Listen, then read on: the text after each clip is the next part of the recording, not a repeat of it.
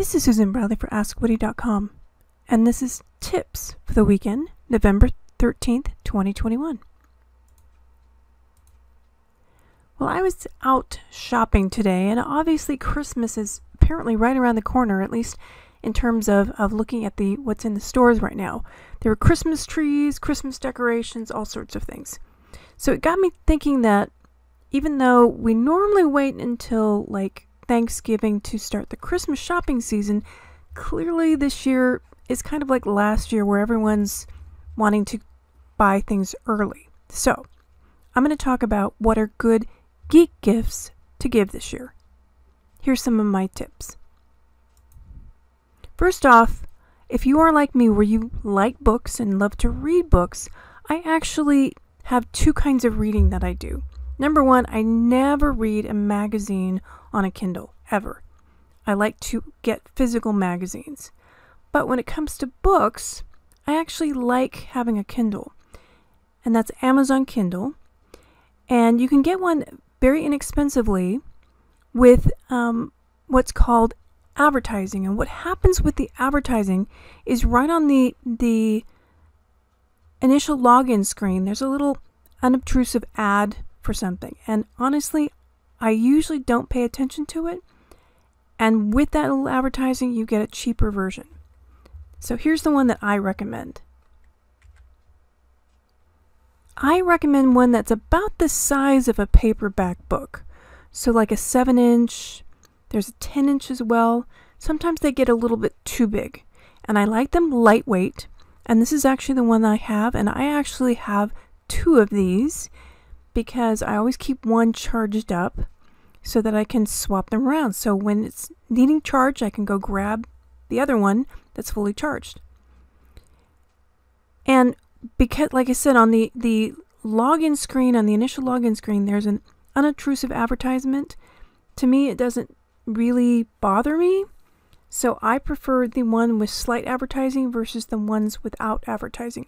It also, like I said, makes a cheaper device. Now here's my Now here's my next advice for a good geek gift. Now this one's a little more pricey, so usually random uh, uh, people that you just like don't get this gift. This is a people you have to love to get this gift because it is an expensive gift.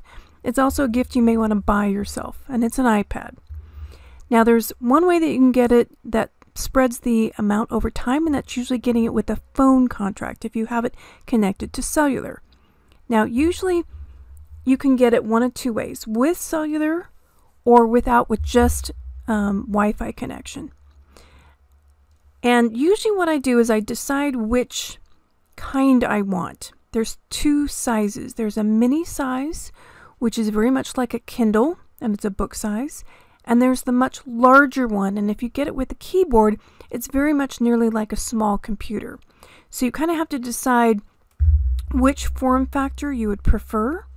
The smaller book style that you can take with you, that you can put in your purse and travel with, or do you want the slightly larger one that's almost like a surface in how it folds out and has a keyboard?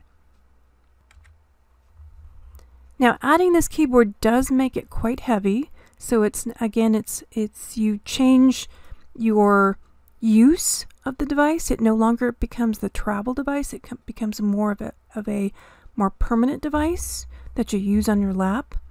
But it's something to think about if if that's the kind of device you want. Now, I would watch out if you get used iPads, um, especially if you get them on any kind of like um, marketplace be careful, do your homework. People are now selling out of date and unsupported iPads, so you want to make sure that you get a device that is still fully supported.